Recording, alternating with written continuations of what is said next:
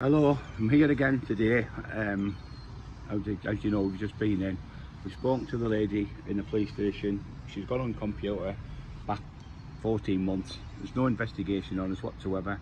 There's no allegations of anything being put towards me or my wife or anyone else we know. There's no police involved in anything and there's no warrants whatsoever for us. So it's just all, the lady said it's just all made up. Come out and So your bed, haven't you? I've had to come up my sick bed again. My feet are soaking wet because I can't wear shoes because I'm having to walk flat on my feet and I'm shaking here as I'm standing trying to keep my balance. So I had to do this because my wife thought I might get arrested three, four in the morning. We knew we'd done nothing wrong, but we just made sure so we can sleep better. So we just took these people that find solace and just uh, God, God helps them all.